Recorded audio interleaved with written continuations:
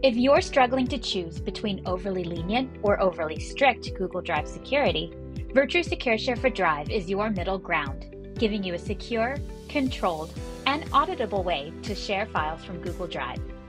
Simply select one or more files in Drive and select Virtru Secure Share from the app menu.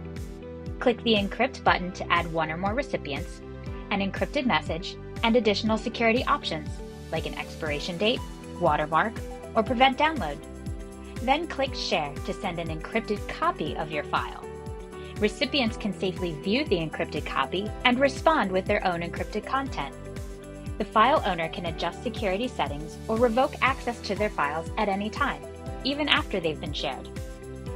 Virtru Secure Share for Drive makes it easy to safely share information from Google Drive without granting access to files or putting data at risk, so you no longer have to choose between security and collaboration.